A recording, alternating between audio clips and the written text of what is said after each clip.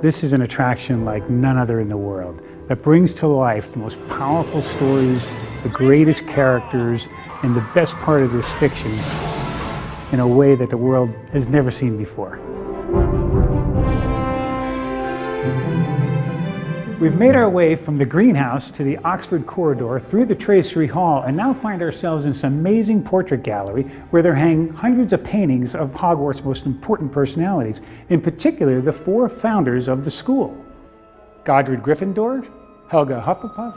Rowena Ravenclaw, and Salazar Slytherin, who come to life and interact with the guests as they pass through the space. It is here, in this incredible office,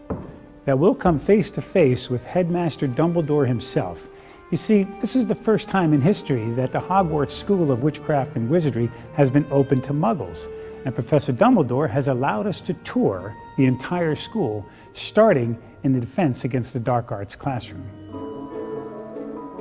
At the direction of Headmaster Dumbledore, we've entered the Defense Against the Dark Arts classroom for a lecture by Professor Binns when all of a sudden the door creaks open and out from underneath the invisibility cloak come Harry, Ron, and Hermione face to face with us to inform us that this tour we're on is going to be completely boring and we should head off to the Quidditch match. And with a cast of a spell, off we go.